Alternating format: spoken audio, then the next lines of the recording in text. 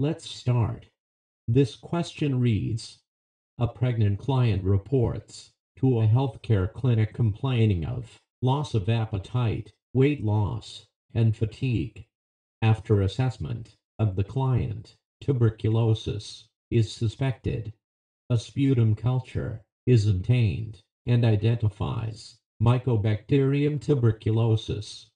The nurse provides instructions to the client regarding therapeutic management of the tuberculosis. Which of the following is the correct management?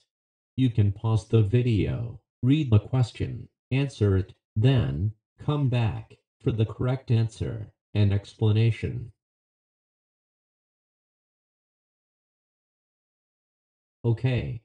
So, the correct answer here is D.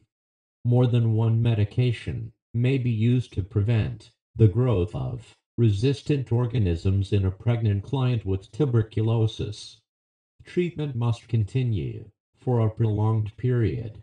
The preferred treatment for the pregnant client is isoniazid INH plus rifampin daily for 9 months.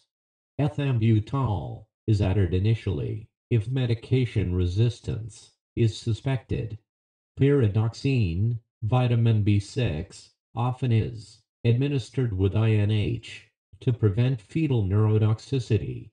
The client does not need to stay at home during treatment, and therapeutic abortion is not required.